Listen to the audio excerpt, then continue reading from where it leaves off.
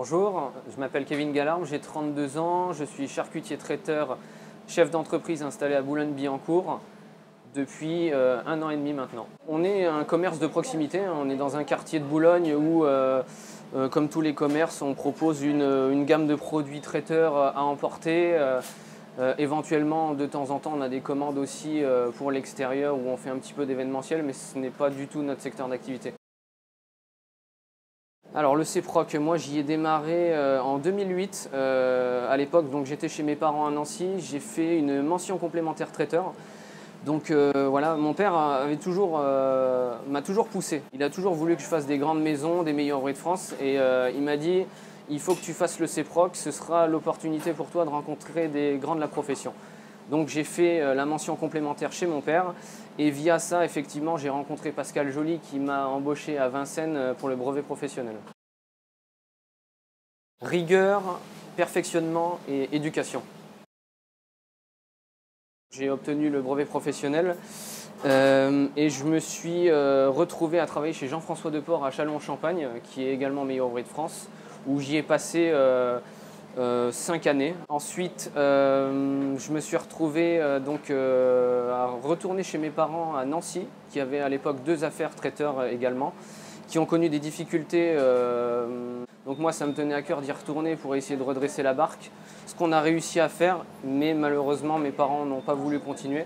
Donc je me suis retrouvé encore à, à, continuer un petit peu mon parcours. Je me suis retrouvé chez Alain Marco Tullio, qui est un traiteur de France à Nancy, euh, où j'y ai passé six mois, où j'ai découvert euh, le monde de l'événementiel de luxe, où j'y ai appris énormément de choses, mais ce qui n'était pas, euh, ce pas ce que je recherchais. Donc par la suite, je suis retourné de nouveau, chez Jean-François Deport pendant trois ans, où j'y ai pris le poste de chef pâtissier, où je me suis éclaté. il m'a donné les rênes et la création, donc c'était génial. Donc euh, ensuite, ce qui s'est passé, c'est que par la suite, je me suis retrouvé à travailler dans le 16e arrondissement avec monsieur et madame Cédio.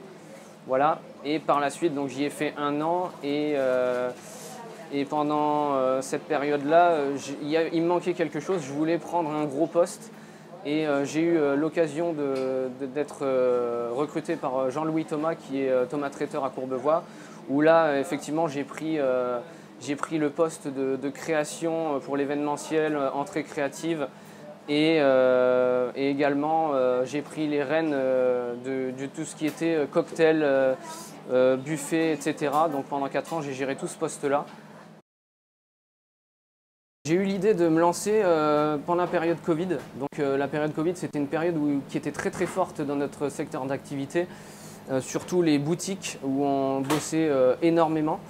Et euh, dans cette période-là, en fait, ça a été une période compliquée dans le sens où euh, on a eu des problèmes avec le personnel, euh, où on travaillait énormément. Et moi, j'ai été en pleine période de concours. Donc j'ai eu cette période plus le concours, donc c'était une accumulation de travail où je me suis retrouvé en, arrêt de travail suite à un accident. Et pendant cette période où je ne travaillais pas, eh ben, j'ai commencé à cogiter sur le fait pourquoi pas moi? Voilà. Euh, et, c'est vrai que je me suis dit que j'avais cumulé pas mal d'expériences chez des grands euh, qui m'ont appris beaucoup de choses et euh, c'est ce qui a fait que via un contact toujours avec Jérôme Baudouin, on a eu, au bout de six mois l'opportunité de reprendre Boulogne-Billancourt. Bah déjà, il faut être mis en relation avec les bonnes personnes. Donc je parlais de Jérôme Baudouin, il en fait partie. Voilà. Après, il faut construire un beau projet pour la banque via euh, des photos, euh, raconter notre expérience, euh, monter un projet financier avec des comptables. Il faut, il faut quand même bien s'entourer. Il ne faut pas faire ça n'importe comment, il faut bien y réfléchir. Il faut bien prendre conscience des risques, mais c'est ce qui fait que c'est une très très belle expérience. J'ai fait ma première année de CAP, où j'ai été euh, amené euh, par hasard, exactement ce que je disais, par hasard, à faire le meilleur apprenti de France. Donc je l'ai fait sans grande conviction et euh, bah, j'ai été qualifié pour la finale. Et ce qui a tout démarré en fait, parce que quand j'ai été qualifié pour la finale, Laurent Lalvé m'a pris sous son aile et m'a donné cette envie-là justement de faire les concours. C'est venu de Laurent Lalvé à la base. Voilà, et après par la suite, bah, j'ai fait des maisons, des maisons qui m'ont euh, permis euh, d'en faire beaucoup plus. passe, je pense particulièrement à Jean-François Deport qui m'a vraiment boosté sur les concours. il m'a pas lâché, il m'a fait faire quasiment tous les concours de la profession. Donc c'était le jeune espoir, que je l'ai répété plusieurs fois, le chef traiteur, voilà, et ce qui m'a permis par la suite euh, à continuer à faire des concours nationaux euh, que j'avais gagné par, ailleurs euh, en, équipe à l'époque chez Jean-François Deport avec Cyril qui est un ami à moi et qui est le chef là-bas. et donc par la suite j'ai fait le Grand Prix de France de la charcuterie et récemment là la, finale des meilleurs ouvriers de France que j'ai malheureusement raté. Moi, je la vois moderne, euh, moderne du fait qu'on est des grands professionnels et je pense notamment à Arnaud Nicolas qui euh, rajeunit extrêmement le métier euh, via la communication, via l'image qu'il en ressort de ses boutiques, des produits qu'il propose. Une image, pardon, très très moderne.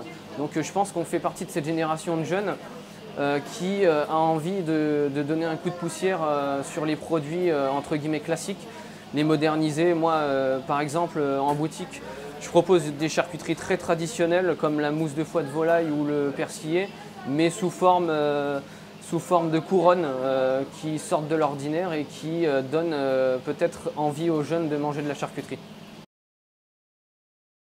Alors déjà, dans un premier temps, ceux qui ont eu la chance de passer par le CEPROC, je pense que c'est un tremplin formidable pour des futurs chefs d'entreprise ils y auront euh, déjà une belle vision du métier, de, ce qu'est la charcuterie aujourd'hui. Et après, euh, voilà, pour, euh, il, faut, il faut se lancer quand on le sent. C'est dans les tripes, c'est à un moment donné, ça a été mon cas.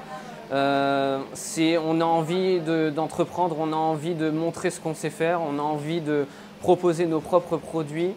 Et bien évidemment, bon, pour tout ça, il faut avoir beaucoup de rigueur, beaucoup de, de, de précision. Il faut être il faut rien lâcher. Voilà. Vive la charcuterie, vive la jeunesse et euh, j'espère euh, voir euh, dans nos boutiques beaucoup de jeunes.